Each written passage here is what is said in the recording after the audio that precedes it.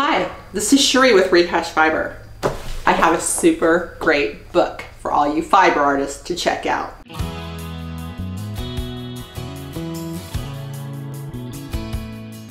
One morning I was going through Instagram checking out the fiber world and I came across this book. It is called Shetland Wool Adventures.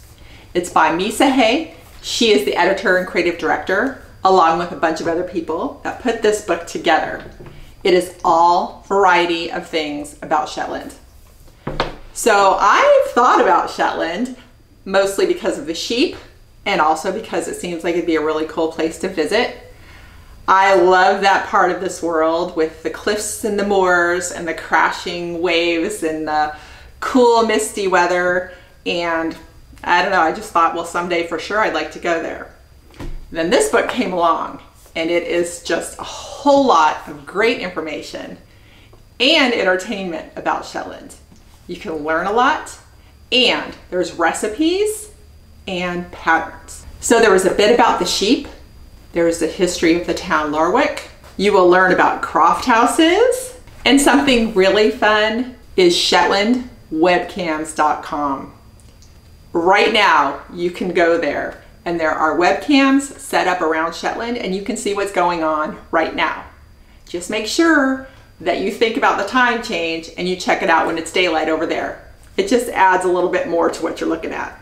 There are walks described in here and I love hiking so that just is, seems very fun. And also those recipes. I surely want to try to make something from there. Why not taste a little bit of Shetland? And then the patterns. Now it's getting to what we can do hands-on. There is a Nighthawk skull cap that's got a Fair Isle pattern running through it. And I latched onto that right away.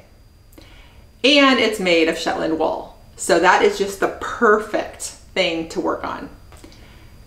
I do plan to visit Shetland sometime in the future. This makes me extra excited because this is now like my playbook. And I will be able to wear the Nighthawk Shetland cap when I go. So if you want a bit of adventure for yourself and you're curious about Shetland, you can dive into all those things I just talked about and learn so much more and it brings it to life. So there is a website and there's a newsletter. So you can always see what's going on. A lot of fun and helps make this big world a bit smaller. So I do hope if you get the book, you enjoy it as much as I do.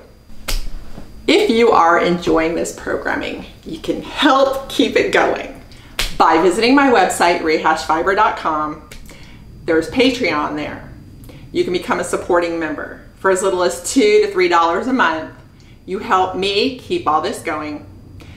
The $3 a month subscribers get the little one inch collector's pin that says Rehash Fiber. Also on there is merchandise. So if you want a really cool water bottle, apron, cap, shirts with rehash fiber, you can find it there. And that also helps with keeping the programming going. So thank you all for joining me today. Happy reading if you get the Shetland Wool Adventure book. And thanks for watching.